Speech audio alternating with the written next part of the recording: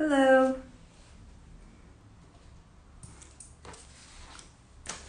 Wake up, everybody. No more sleeping in bed. Yeah. Hey, hi, everybody. Hi, Amari, Saucy Vocals, Takena, Kendrick. So excited you guys are here this evening. Um, we're gonna have a great conversation tonight with um, a wonderful singer, and um, in my mind, she's like BGV royalty. Um, she's just been um, a professional singer in in the industry for I feel like ever since I knew anything about professional singing. So I'm really excited to talk to um, Chelsea West, also known as Peaches West, and talk to her about um, her life and her career and her beginnings and how she got where she is. And um, you may you may or may not know her by name, but I promise you, you've heard her voice. You have heard um, the projects that she's done. So come on in. Let's see.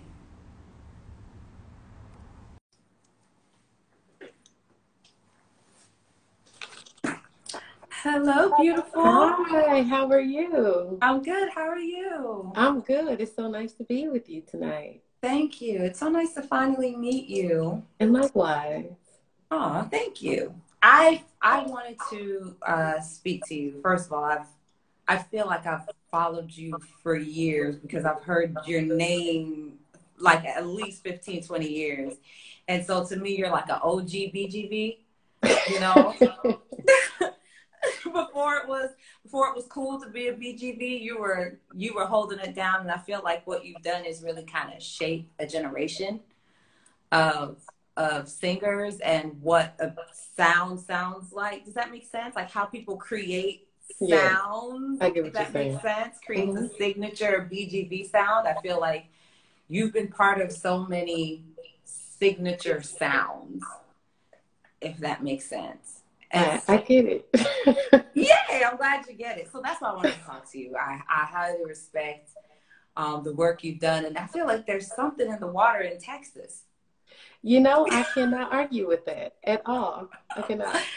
Texans just do it better. Like seriously, like there's great singers all over, but I just feel like Texas, there's just a sound that comes out of Texas, and so It's hard to beat. It's hard to beat. I'm so excited you're here. So, um, I don't want to take up too much of your time. I do have some questions I wanted to ask, and then if people have any questions, you know, I would love for them to be able to ask you. Um, so first of all, how is Atlanta? You know, so far now. so good. It is freezing like it snowed the other night. I was not prepared for that. I have not dealt with snowy weather in four years. So that was interesting. Like, wow, a real winter. Wow, okay. A little so Um, come from LA, huh? Yeah, way, way, way different. But Yeah, so I far so um, good. I'm from Fort Lauderdale, but I live in Atlanta. So I just happen Okay. to not be in Atlanta. So I've been enjoying the 80 degree weather for for a little bit, but I'll be home and I'm pretty sure it's just going to be such a shock to my system. Oh yeah, it's cold. so congratulations on your new home. Thank you so much. That's such a big deal. I, Thank you. I, you know, I'm a, you know, when you're, what is it called? When you're self-employed and you're, you know, in the arts. Oh my God. it can get very tricky. It, it can, can get, get very, very, tricky. tricky. They want, they want blood at that point, you know. Pretty And much, Your um, firstborn for you to prove you could pay for that house. So Yeah, was a crazy That's experience. such a huge milestone. So I wanted to start from the very beginning. My first, I guess, knowledge of you, I would say, would be God's property. hmm Is that correct? So, Yes. from what I understand, your mother was the director of God's property, Not my mother. not your mother. So who? Not my mother. However, the director was like another mother to me. Okay. Um, so, but not my mother. Um, she's this uh, a lady by the name of Linda Searight, Okay. and at the time, um, she was in the same COGIC denomination as we were. So, you know, her son and her two daughters. Her son was a musician. Her two daughters sang. So Candy and I like connected with them growing up. So we always played together and sang together. Her son Spud was my mom's MD when he was 14. Mm-hmm. So we, you know, we are like family, but that was the the leader of God's property. So was it so God's property was just a community choir of yes. of kids and teenagers. Mm-hmm. So yes. was there something in particular that that you remember? Okay, so when she created this group, um, did she have in mind that you guys were going to be recording projects and stuff? No, no, I don't think she. I don't think anybody thought that that was a possibility because everybody just did it for fun. It was just fun, but the choir was so good, it caught the attention of Kirk Franklin, who was in the neighboring city of Fort Worth. So he started inviting the choir to participate on recordings of his, and um, that led to him getting us the deal, him facilitating and helping the choir to get the deal. That is so cool. Have you all sang soprano? I'm I'm assuming you're a soprano based on what I've heard. I am, and I I have for the most part, except for when I was younger. Like when I was a kid growing up singing with my mom and my sister, she would make us sing all parts. So we had to sing tenor sometimes. We had to, you know, we had to switch parts. So I hated it at the time, but I'm grateful she did it now because I can sing anything. Yeah. Is your do you guys pretty much have the same voice as your mom? Because you and your sister pretty much have the same voice. It's so similar. There are moments where it's just like, whoa, that was mama. You know what I mean? Okay. Because you know yeah. how the Pace sisters, they all mm-hmm. kind of like, it's like, wait, all y'all sound the same. Like, my mama's thing is just different. Her thing is just a little, it's a little more special to me because she sounds a lot like Aretha. Um, so her thing is just a little different, but um, there are those moments when we're singing. I'm like, whoa, we sound just like Mama. I love it. I love it. So let's talk about um, what was your most who was your most memorable client or your most memorable like experience like your most is there a treasured experience that kind of turned a leaf for you or a treasured experience wow I would, I honestly, Janet would have to be the treasured experience.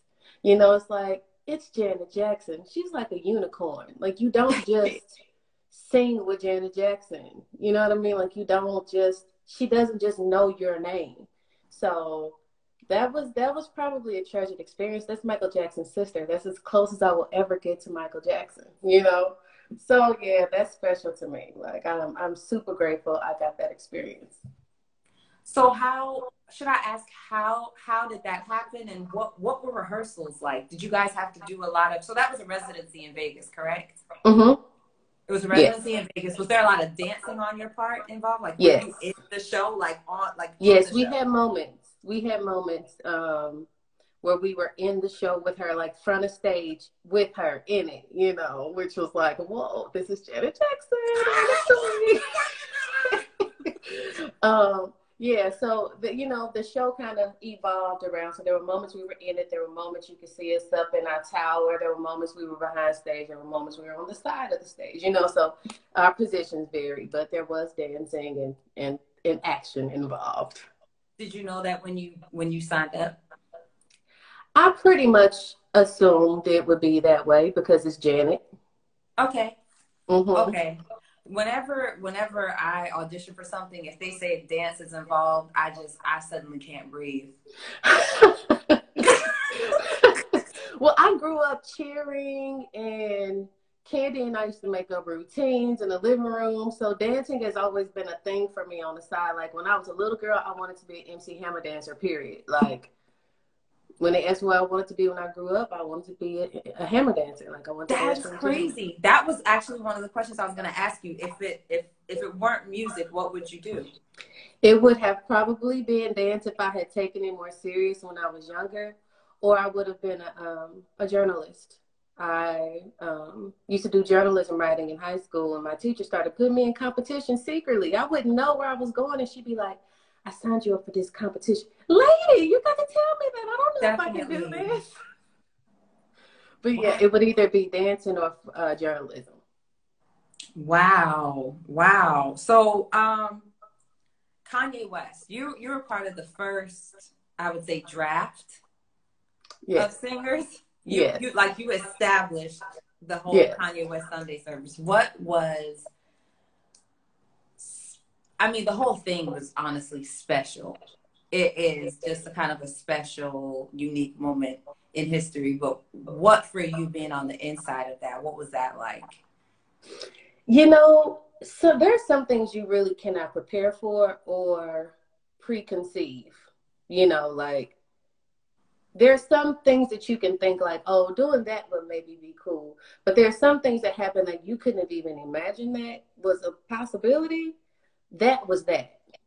You know what I mean? That experience Same. was one of those I never knew something like this was even possible. And having been there from the beginning to see every phase and transition and change, you know, the so many different eras in a short amount of time, I feel like we experienced. I feel very blessed. I feel very honored. Um, Mr. West is a brilliant man. You know, he has a very beautiful mind. Yes. and sometimes we find ourselves in situations like, you want me to do what? Mm, we have to go where and do what? But, you know, we trust the vision and we go with it, and it usually turns out to be fire. So it's been beautiful. I love the choir. The choir, I see some of them have logged in. Let me tell you something. I will fight for a sample, okay? I love each and every person in the choir, past or present. Um, they have literally become like family to me. We have spent a lot of time together. We have shared experiences that people could only dream of. And I'm just grateful for each and every person from Jason to Nikki to Jonathan to Steve and Jawan and so on and so forth. Like, it is beautiful. And I feel very blessed to have shared these experiences with these people. That's so amazing. What are some? Where are some places that you guys went? How? Okay, so let me ask you this: How did y'all come up with those arrangements? Um, we have a creative team that consists of Nikki Grier, who does all of the rewrites, and um, her partners, Jason White, of course. He's kind of like the musical mastermind. Mm-hmm. And then you have Steve and Jawan, and they kind of handle the arrangements. Nikki does the writing, and they come with these incredible rewrites that blow our minds every week. That is so amazing! Mhm. Wow.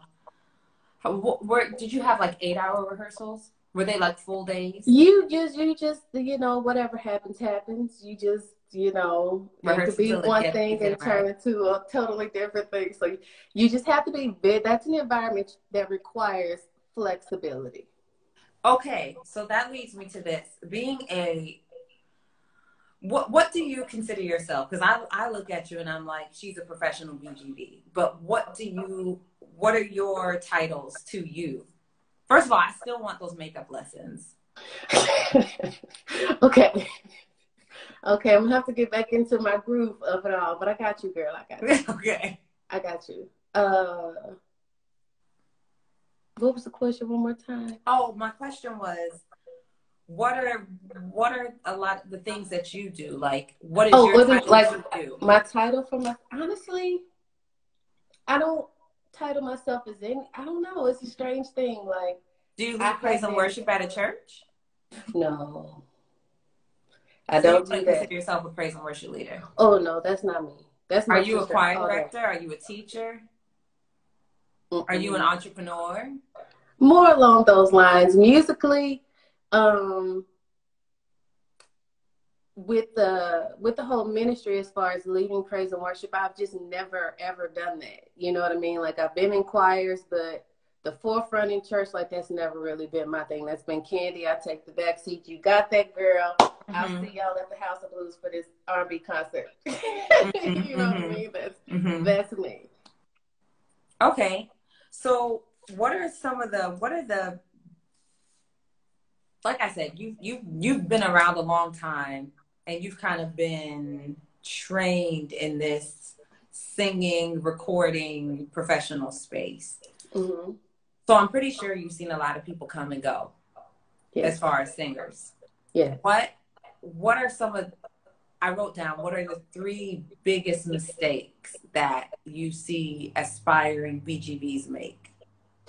Ooh, that's a really, really good question.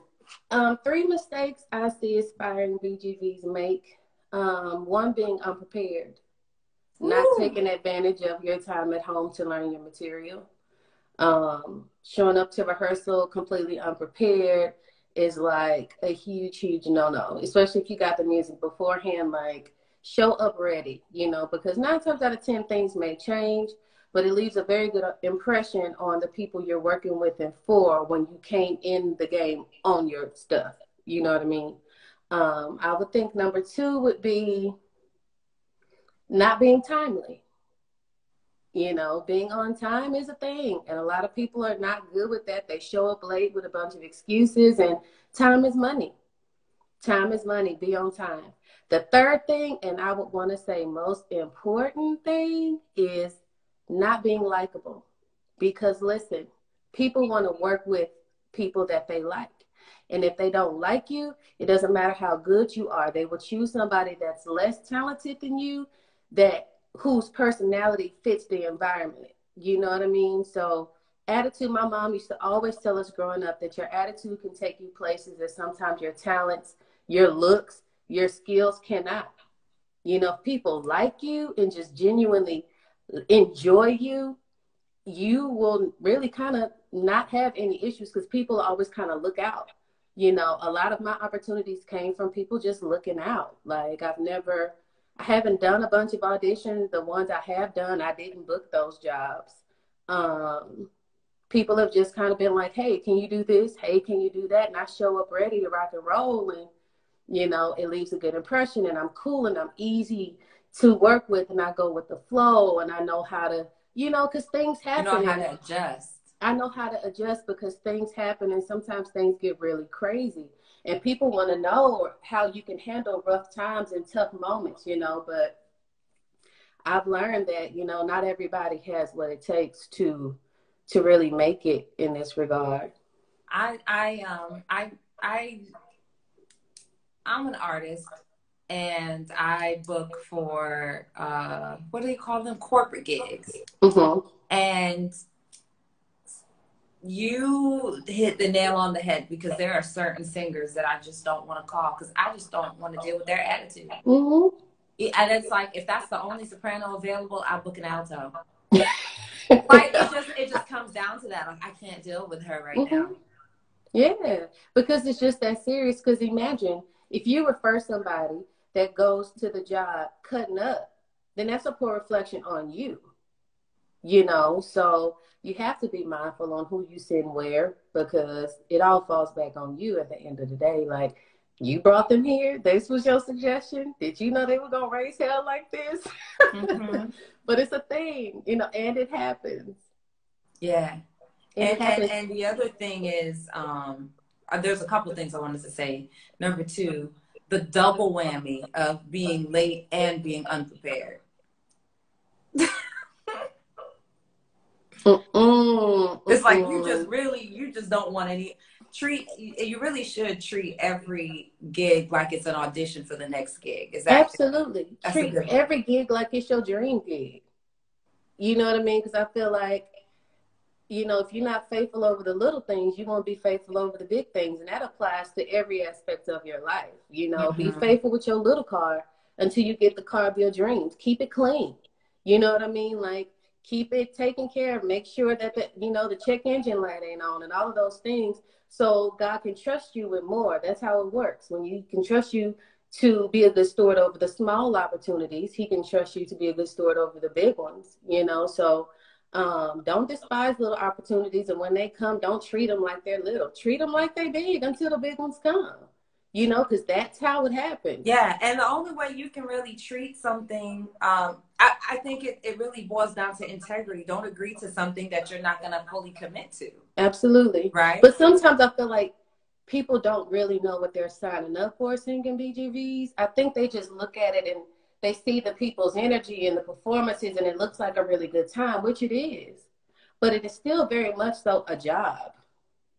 And it's work and it's sometimes the work is hard, a lot harder than the average person could imagine, you know, but it's a lot that comes along with it. It's not just a good time. It's not, and I just that's just me being completely honest. It's not just a good time. It's, it hard, is, it's hard work because you're dealing with first of all, you're, you're dealing you're not necessarily in control of everything. You have to stay flexible. Um, you're kind of subject to whoever the artist is, however they feel. If they're tired, if they're this, you don't know what they're going to change, and you don't know, you know, regardless of how much you've studied, you got to stay flexible and you got to keep a good attitude. I think that's important. I I did a I did a gig. Um, you may know Jasmine Crumley. I do. I just became acquainted with her um, recently, actually. Okay, mm-hmm. lovely. And um, I did. I did a gig with her, and I learned so much. I don't. I'm not really in the BGV world like that. Mm-hmm. And so when I do work with her, I watch. I watch her, and I. It's like I learned so much from her because we did a gig, and um, they wanted. They only had a few in ears, and she had left her in ears in the car and she really wanted to go to the car to get her in ears. and then like producer just handed her some in ears, and she was like, "Oh, okay." Like, I get it. I get it. She was like, she just took a deep breath. And she adjusted, and she went, "Okay," and I was just like, "Wow!" And you keep it moving. Brilliant and you keep it moving because yeah, that's what you I just learned so do. It's like I learned. I, I'm. I call her name because I was. I, I was saying it as a compliment. Like the way that she handles every professional situation is just like wow. And this is why she's always booked. She is just so pleasant, and she knows how to adjust, even if it's like what how I feel doesn't matter. We got to get the job done. It makes a difference. I'm telling you.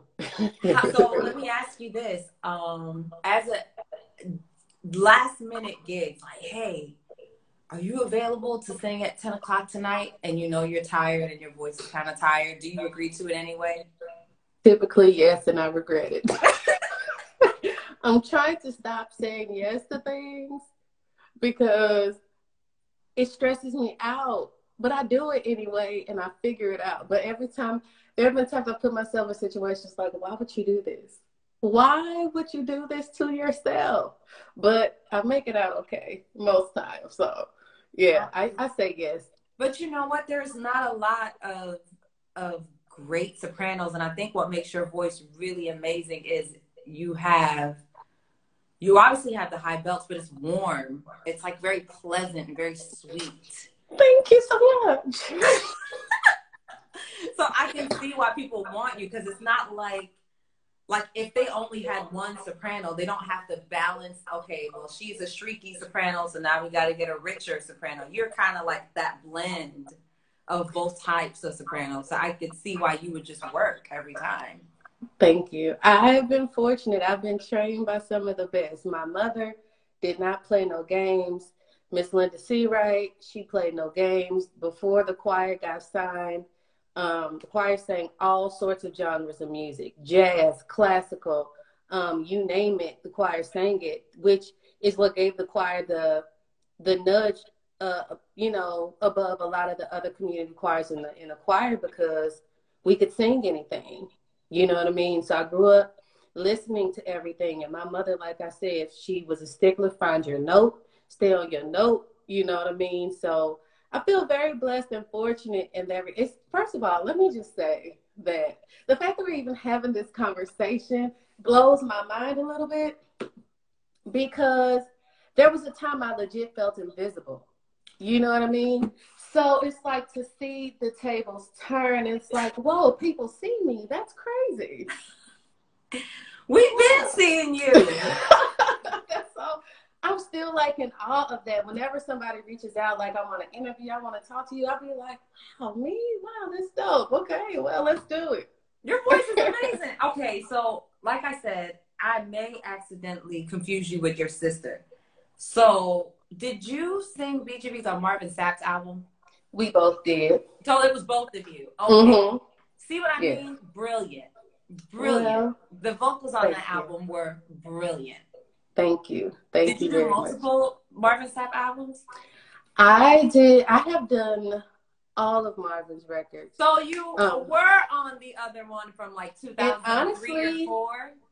The last, maybe now his new new one. I did not sing on that one. The yeah. choir had me tied up, so you know I My, couldn't get home for that one my favorite recording of Marvin Sapp, I want to say it was like his 03 or 04 album.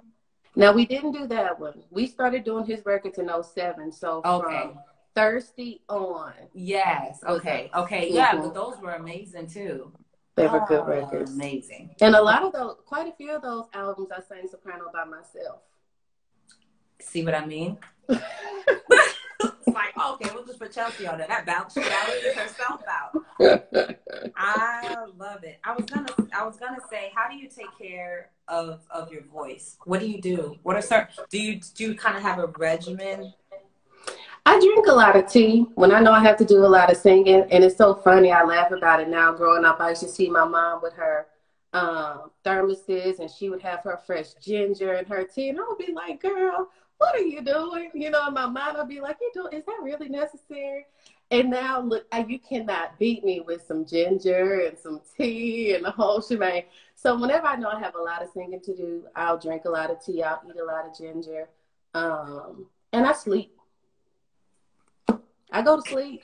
Listen, I tell people all the time. First of all, Deanna Dixon is on here. Hey, here. Deanna girl. um, I I have gotten so ridiculous with my ginger at this point. Ginger tea bags are not enough. Like I just literally take the powdered ginger and put some sugar and just hot water. Like that's how insane I am. Have you had the ginger crystals? No, I don't Oh, know what that is. girl. It's literally just ginger powder, like to the point where I was sneezing. You got to so get the ginger crystals. I got to find them. I'm gonna find them for you. Don't worry. Okay. I'm gonna find them. Wow. But it, what it does because I at this point I'm I'm teaching like ten clients a day, so I'm Mhm. just downing ginger all day just because it controls inflammation. Because I'm talking all day. And Have you tried ginger candy? Yeah, I love ginger anything. I'll eat ginger anything. Ginger bread, ginger cookies. Like I'm Yeah, you should- Stock up on all ginger products. Get you some ginger candy. Get the um, ginger crystals. First of all, those are gonna rock your world. Okay. Okay. That makes a very good ginger beverage. Listen, I'm I'm Jamaican, so Oh, sweet. we do ginger. I love it. I ordered uh, Jamaican food tonight, and I, the fruit punch I got had ginger in it, and I was so happy. I was Absolutely. it's got ginger. Absolutely, we put ginger in everything. We put I ginger love in it. stew beef, everything. I love it. I love ginger. I have Oh well, love girl, we can rock. So, so, so, and sleep is very important. I always say there's a, you cannot you cannot hydrate to the point that you overcome the lack of sleep. You know Right. what I'm saying? If you haven't slept, your voice is just gonna go kaput really quickly. Yeah, it's not gonna work the way it's intended to. I love that. I love that. So, so you're very just kind of homeopathic. You don't you don't do any. When I say homeopathic, you know how they kind of package things for singers, Right. Throat Yeah, I'm a simple girl. Either I got it or I don't. you know what I mean? Like, I typically know what I have, and I'm gonna give you what I got, and we. um, like I said, I'm simple. I um, I do my teas and I rest, but I don't have like an extreme regimen or anything like that. And then on top, so, so you must just be really gifted as well. Well, So your voice has a lot of, you just generally have a lot of stamina in your upper range. Like you don't get tired easily. honestly, I have found a safe place in my mix to where it doesn't hurt. Is that right? I don't feel like I'm straining or I'm pushing as much. I can't explain how to get to it or where it is, but somehow I found it, and I thank God for it because it has given me stamina. So, you know, if I if I really don't have it, I have a strong false. So you really kind of can't tell. Come on and tell the secrets. Those are my little secrets. Okay. You know, you said your mom sounds like Aretha, and what you just said is exactly what I hear every time I hear Aretha. Is she belting or is she in a mix? It's a strong mix. I love it. Mhm. Well, good for you. Thank you. Everybody, everybody can't do that. Like if I could, then I would do that too. I would like to put me on soprano all day because You know what? When I'm most grateful for it is when I have to sing with Jennifer Hudson, because baby, woo wee, that's a high soprano. See, here's the thing: you don't really, you don't post your gigs like that. Like you're not. That's not how. So I didn't really know all everybody. I can only go off of like I've been Facebook friends with you for a few years, so mm-hmm. I've seen a few things that you posted, and so I kind of gathered some information. But a Google search ain't gonna pull up nothing on you as far uh-uh. as who your clients are. So I was like, I don't really know if I should just ask her it's so funny. I uh, I just I've I've been trying to figure it out, you know, within myself. Like, why don't you post more of what you're doing and what you got going on? And I think for me, I want people to know me for me. I want people to like me for me and not what I do or what I can do, you know, because yes, I sing, and yes, technically I am a singer, but that's not who I am. I love that. You know, so I try to keep the two separate. I don't I don't ever want to lose my personal identity to my gift. And I feel like a lot of people sometimes don't know who they are outside of their gifts. So I don't ever want to confuse the two because I'm still an individual with multi purposes outside of what my voice can do. So come on now, talk talk to me about Jennifer Hudson. I love Jennifer Hudson. So when you're singing BGVs for her, the note that she's singing is that alto for her, and then you have to sing above her. Sometimes. Ooh. Sometimes. So sometimes she'll do like a Whitney melody, uh, medley, and uh, you know Whitney songs were high, and it's like uh, a thing. So I have wherever she is, I have to I have to go above. It's you know I'm gonna do what I got to do. Wow. So can you I hate to ask you to do this because I don't want to embarrass you, but who else have you sung for? Oh, girl. Uh, five people. Five people. Okay. Okay. How about half and half? Like I'll give you gospel people and I'll give you the other people. That's fine. Okay. Okay. so on the gospel side, you have your Kirk Franklin. You have Tamela Mann, Marvin Sapp, Israel Houghton. Um, I didn't know that. that. Did I say Fred Hammond? You were in New Breed. I was not in New Breed, okay. but I did some vocals on his last, his latest, uh, Road to Damascus. I did some vocals for that. Got it. Um, so I think that's five on the gospel side. On the other side, um, well, no, I can, you're funny. The other blank. people, the other side. I did a, I did a song on um, Celine Dion's record. Um, Snoop, 2 Chainz, uh, Brandy. Um, what? Snark. I don't know. It's been. I'm not even, and it feels so weird to say because people who know me know that this is not like I'm not a pump myself up. I You're not. That's why I was nervous to even but ask because I was I like, have I like, really don't know, but I'm scared to ask. my resume is sometimes I can't believe it.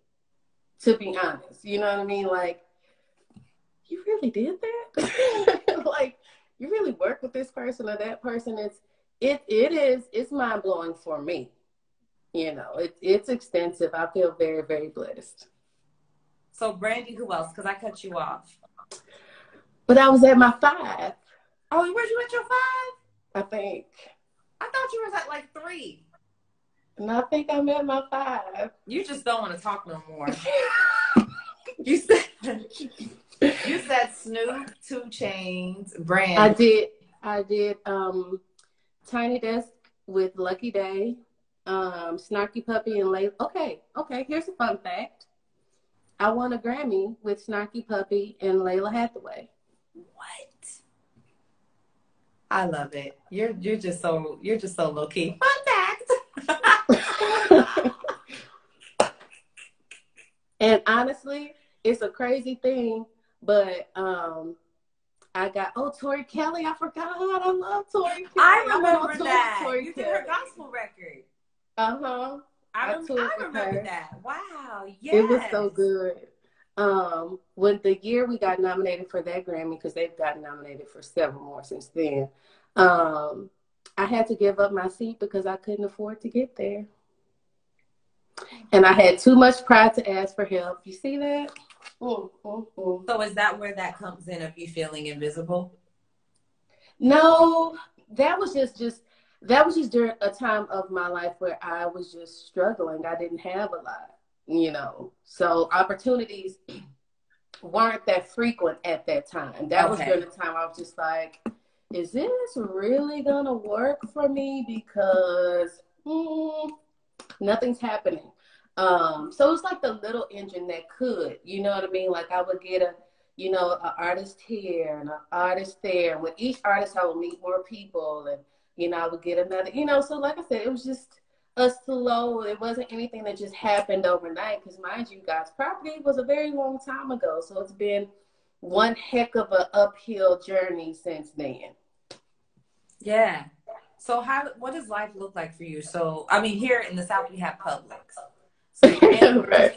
you're, you're in Publix, you're picking up your ginger candy, and you get a text that, you know, oh, Tori Kelly needs some singers. Can you be at the studio? Then nine times out of ten, I'm gonna hop on a plane and get to the studio. I love it. yeah. Um, no, I'm just saying, but that's literally how your how your life works. That is literally and my sister mom. a yeah, I am a mom. Um, and before we moved into our home, um, my sister's house was like my interim space. So that's where my son set up. That's where I was. Boom, boom. So we had this thing like when I left for one trip, I never knew where I was going to end up. So I would leave and fly to LA and think, oh, I'm just going to LA to do X, Y, and Z. Then I would get a, call and I would literally end up in Chicago or end up in, you know, like and that happened several times. One weekend, I was supposed to go to Austin, and we ended up in Tahiti. so oh I never God. know. It's the it's a crazy life, but I literally never know where I'm gonna end up. So I kind of have to always be ready for anything. What are some? Uh, have you ever? I'm sure you have. You um, thought about how you can capitalize on all of your experiences? I know you said you don't want to really do the teaching route, but have you ever thought of writing about it or doing some sort of entrepreneurial thing? You know, I'm really trying to figure that out. I don't, maybe when you say teaching, maybe I need to explore that a bit more. I do realize that I have a gift of motivation simply because I've overcome the things that I've overcome. Um, and I just feel like if it happened for me, it could happen for anybody. And I'm, I'm really trying to dig into that. Like, how can I make all of this make sense? Um, I think also, to be completely honest, I take for granted my experiences. You know what I mean? It's like things that I've done, and I know they're a big deal, but I don't rest in the fact that they're a big deal. You know, mm-hmm. and I know that if I could, there are people who could benefit from the things that I know. I just haven't figured out how to make it make sense in that way. Yeah. I think you're, I, I, you know, your voice is a gold mine. Obviously, it's it's carried you to the whole world. First of all, before I finish that thought, have you ever been to New Zealand? I have not, but I have been to Australia. Okay, because that's like my goal places. New Zealand. New Zealand is for sure on the list. right. That's on the list for sure. I, I want to see New Zealand. I, I do. I was I was gonna say your voice is a gold mine, and I feel like at this point, with the amount of experience you have and staying power that you've had, and you're so grounded, I just think you're so endearing to so so many people would just love to just eat out of your hand. I can tell you that for sure. Whatever you do, it will be noticed and it will be very um, appreciated by the music community. You've contributed so much. Thank you. Well, if there's anyone who is business savvy who would like to help me and assist me set up a plan of action to make all of this make sense, I am down to listen and learn and partner. Because um, I'm not, I'm not the type of person to think I know it all or think I can do it all. And probably my lack of thinking that I can keeps me from doing a lot of things. you know what I mean? Just I'm one of those type of people. It's interesting that I don't really know what I can do till I do it. It's like, oh, I can do that. Yes, it's a weird, you can. It's, it's a really, really strange thing. but um, when it comes to business, I don't. I know I'm not the most business savvy with putting things together and you know making outlines and things make sense. Like that's not my strong suit. So I would absolutely need help, but I'm open to that. So. Yeah, you'd be dope. When you said journalism, I mean, that's just, that's amazing. True. People have, you know, I've thought about writing books um, or a book or, you know, letting the journey lead itself. Um, just, just how, you know, when you're considering embarking upon a territory that you don't know anything about, it's completely unfamiliar, it's not sing this, you know, it's write this, which isn't hard, it's just structure and things of that nature. Um, but I'm definitely open to that as well. That's kind of been a, a, a desire for quite some time that I probably just need to put real energy into. Okay, so b- before I let you go, I want to know if anybody has questions. They're just they're just basically expressing their love for us, and I love you guys too. Um, you said some amazing things today that Thank you. Um, yeah, especially somebody even said the small beginnings. That's so important, you know. Listen. Don't don't treat don't treat the the nobodies like they're nobody. You show up and make them feel like a somebody, you know. Um, and do your job well. Treat them like you treat the Janet Jackson gig, and that's how that's you, right. you know that's how you secure stuff like that. Somebody said, "I love you." Oh my gosh, Bay Turner, this dude right here. When I tell you, sing, sing down. Bay Turner. I'm not even lying to you. Bay Turner. I, I was blown away. Um, but yeah, if anybody has any questions, somebody said this is an awesome interview. Thank you. Thank guys. you so much. You're so Thank lovely. you. you really are. I don't think anybody has any questions. I just think they're like, oh, I have a question pop up. Let's see. Oh, that's a good question. Oh, what is next? Honestly, I'm here because God told me to move here.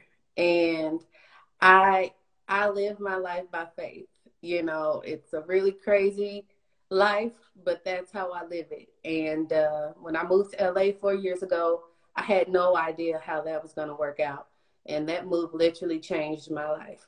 Um, so with this move, it's kind of me being in that position all over again, but on a different level. You know what I mean? Like I started that journey sleeping on somebody's couch you know, not knowing what that life was going to be. And I'm starting this journey in a, in a whole house.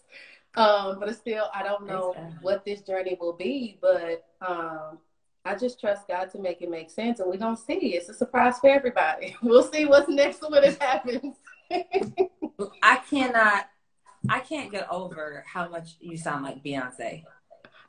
First of all, I wish I had a dollar for every time I hear that because it is uncanny how you sound like her. The whole time you've been talking, I'm like, seriously.